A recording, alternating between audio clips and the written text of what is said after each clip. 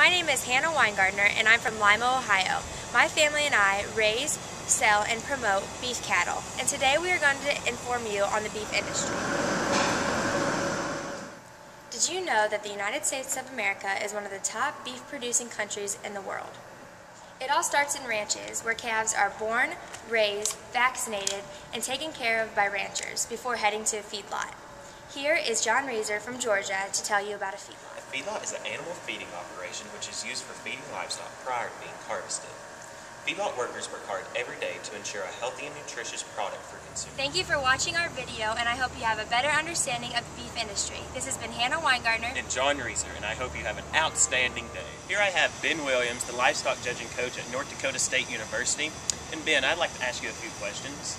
How does your job here at North Dakota State help the general public understand the livestock industry? Well, my job kind of includes a multitude of facets involved in the livestock industry. Uh, it doesn't just deal with beef specifically, but I also have the opportunity to work with uh, sheep, swine, uh, and cattle, uh, really in the classroom setting.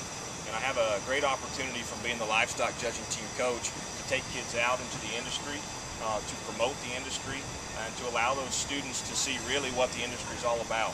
We spend a lot of time on the road. We spend a lot of time at different ranches, different producers, and really my job is to prepare those kids to go out uh, into the world after they get out of college and really help to educate the public on their experiences, what they saw when they grew up. So they're really becoming advocates for our industry. So my role really within the university is to not only uh, just educate uh, in the classroom, but a lot of it is outside the classroom. A lot of uh, practical production practices we try to teach these kids uh, to go on and share the story of agriculture. Yes. Thank you very much.